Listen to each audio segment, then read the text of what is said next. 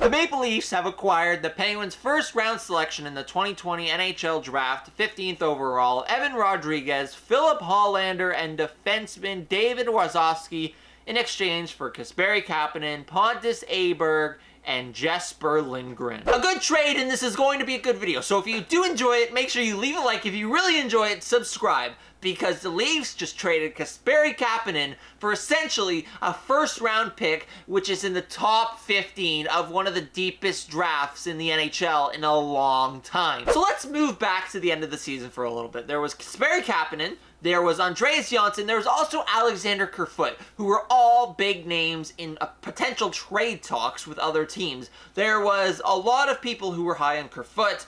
I don't know if that we could say the same about Johnsson because of his injury. He didn't have a lot of value, but there was some and a lot actually of value on Kasperi Kapanen, which is why he now is worth a first round selection in the 2020 draft. I'm not gonna say I didn't see this coming because it's Kasperi Kapanen. Um, GMs like players, and when they like players, they will offer a lot. And to say that a first round selection isn't worth Kapanen. I could say it's not because it's Kasperi Kapanen. He's not really succeeded on that second line with John Tavares. But again, it's Kasperi Kapanen. He could come into next season, like he just said in his press conference, that he could come out, play with Crosby or Malkin and dominate.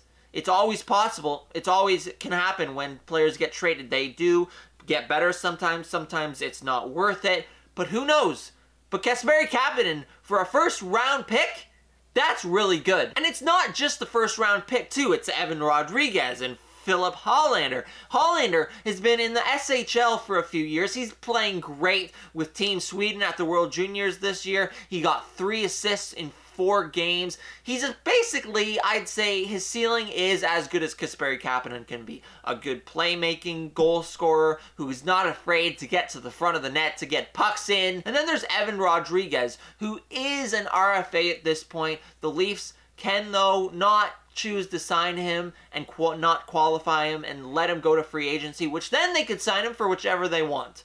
So, there's a lot to basically unravel here. It's a good trade by the Leafs and sending Pontus Aberg, who really didn't have much of a future with the Toronto Maple Leafs, and Jesper Lindgren, who is a good defensive prospect, to the Penguins.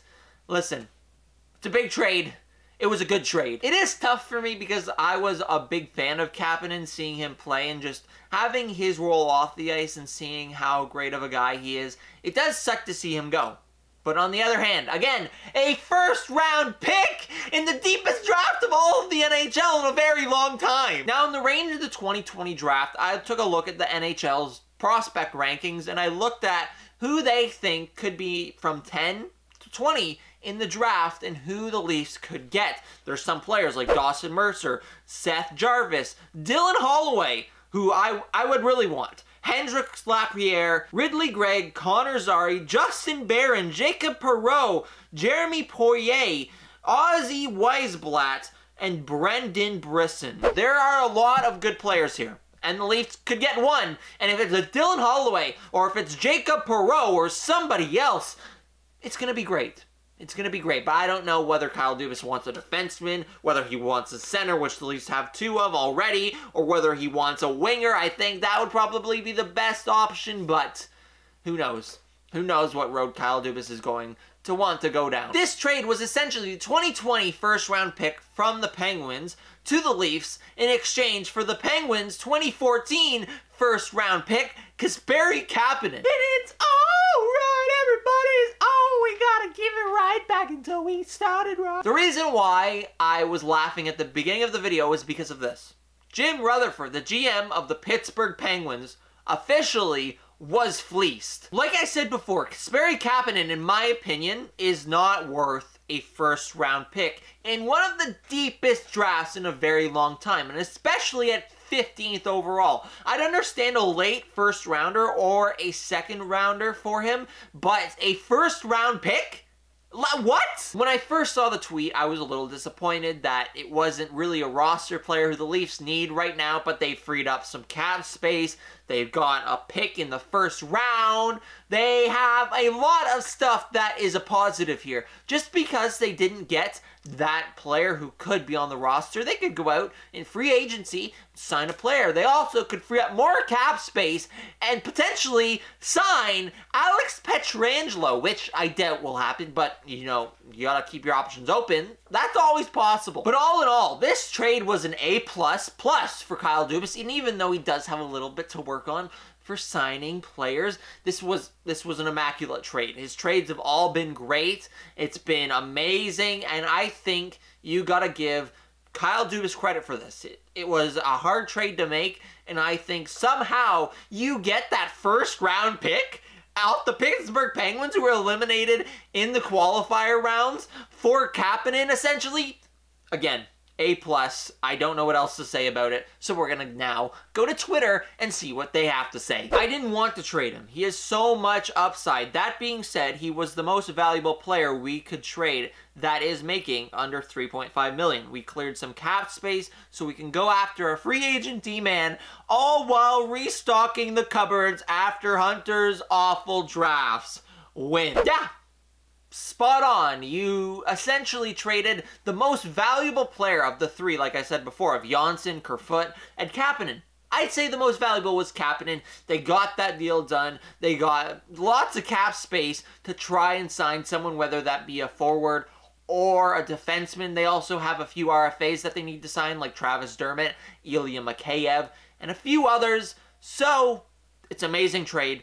A plus plus again. Nick, I'm having such a good day. So am I. And it's all right, everybody. Oh, we gotta give it right back until we started wrong. Love is good. Love will be strong. We gotta give it right back until we started wrong. Yes, for all the reasons already given, the extra pieces, but also because all those who wanted to string up Dubas for losing number 13 pick though never meant to be, now have to recognize he picked up the 15th overall pick. Maybe, possibly, perhaps, management do know what they're doing. I saw a tweet today, and I want to say that I think a lot of this has to do with tr Dubas trying to fix the mistakes of Lamoriello while still trying to make him look like a good GM. He's fixed the Marleau deal, who I don't know how that happened. He's fixed the Zaitsev deal, which sent him to Ottawa, and now, again, he's rehatched that deal with Marleau.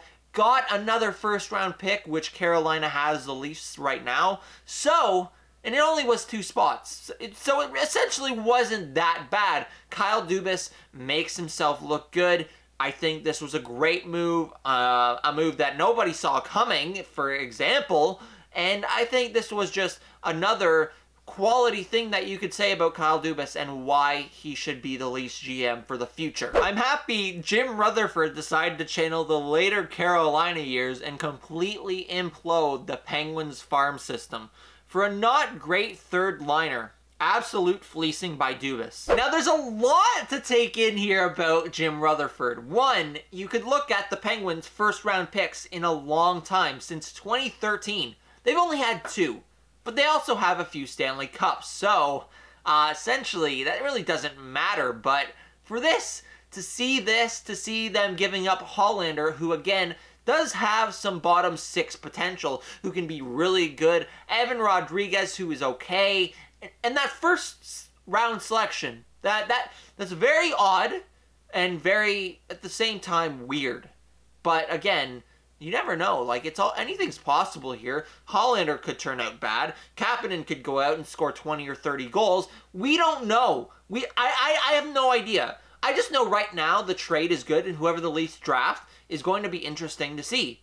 But again, this trade could go either way. We can't really judge it yet. We can just judge that Kasperi Kapanen is worth a first round pick. Thrilled a top 20 pick in a very deep draft, a solid prospect in Hallander, I really hope I'm pronouncing that name right, and a death gritty winger if they choose to re-sign him in Rodrigues for a third line winger. Fantastic move by Dubas. Is that Pietrangelo's music I hear? Listen, I don't hear any music. I, I don't. I really don't. There's no music going on around in my room, okay? The only music we're playing is back to where we started from. That's it. So, let's just play that right now. Hey, Google, can you turn on Toronto Maple Leafs mode? There's so much to know about Toronto Maple Leafs.